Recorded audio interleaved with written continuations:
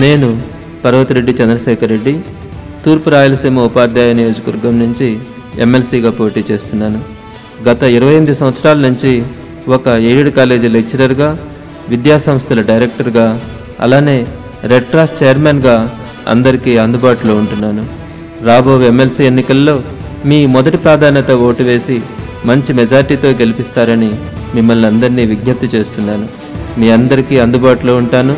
మీ అన్నగా తమ్ముడిగా మీ ప్రతి సమస్యలో మీకు తోడుంటానని మనస్ఫూర్తిగా తెలియజేస్తున్నాను. మీ పర్వతిరెడ్డి చంద్రశేఖర్ రెడ్డి.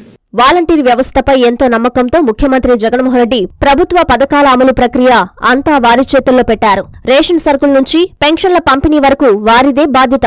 ఇదే కొందరు వాలంటీర్లు కక్కుర్తిపడి అవకాశం ఉన్న చోట స్వాహా పర్వానికి పూనుకుంటున్నారు. ఇటువంటి అక్రమాలు అన్యాయాలు అక్కడక్కడ బయటపడుతున్న సంఘటనలు అనేకం. తాజాగా నెల్లూరు జిల్లా మరిపాడు మండలంలో పెన్షన్ సొమ్మును కాజేసిన ఓ వాలంటీర్ వ్యవహారం సోమవారం వెలుగులోకి వచ్చింది. మరిపాడు మండలం ఈర్లపాడు పంచాయతీ పరిధిలోని పెగల్లపాడు గ్రామానికి చెందిన మాధవరెడ్డి అనే వాలంటీర్ విధులు నిర్వహిస్తున్నాడు. గ్రామానికి చెందిన నన్ను వెంకటయ్యకు వెంకటమ్మకు మార్చి నెలకు సంబంధించిన పెన్షన్ డబ్బులు ఇవ్వడానికి వేలిముద్రలు వేయించుకున్నాడు.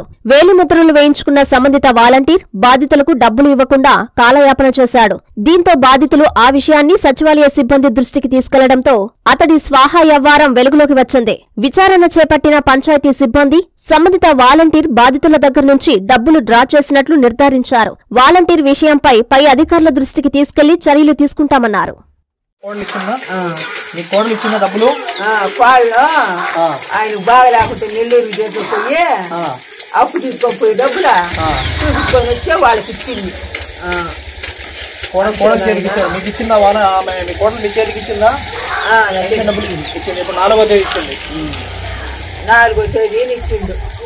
నాలుగో తేదీ మేము వచ్చాం ఆ రోజు ఇచ్చాం కదా. నాలుగో తేదీని వాళ్ళు వచ్చిండు వీడికి ఆడ కోడలు తెచ్చిచ్చి ఇది పెట్టుకొని వచ్చింది తప్పేం తప్పేంటి చెప్తాం నాయన మేము.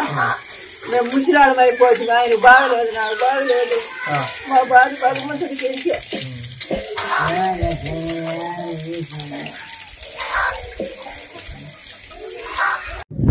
అందరికీ నమస్కారం. నా పేరు ఎస్కే షమి నేను పెగలపాడు పంచాయత్ సెక్రటరీ పనిచేస్తున్నాను.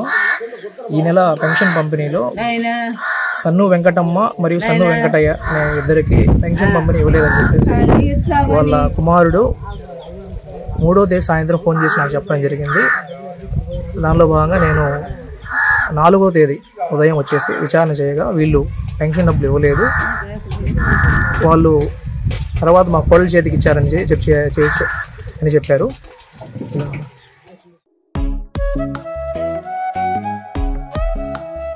కుందనపు బొమ్మకి కళ్యాణం పుత్తడి బొమ్మకు మేలిమి పట్టుతో సత్కారం. పెళ్ళి పందిరిలో సందడ్లు చేసే వయ్యారి భామలకు ట్రెండీ సెలక్షన్స్తో ఆహ్వానం.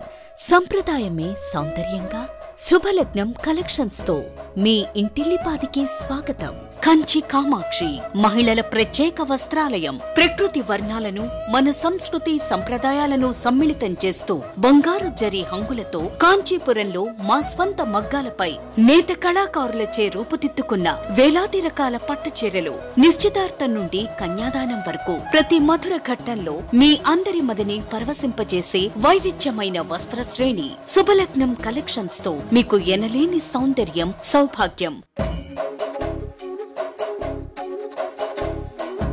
కంచి కామాక్షి మాగుంట లేఅవుట్ నెల్లూరు.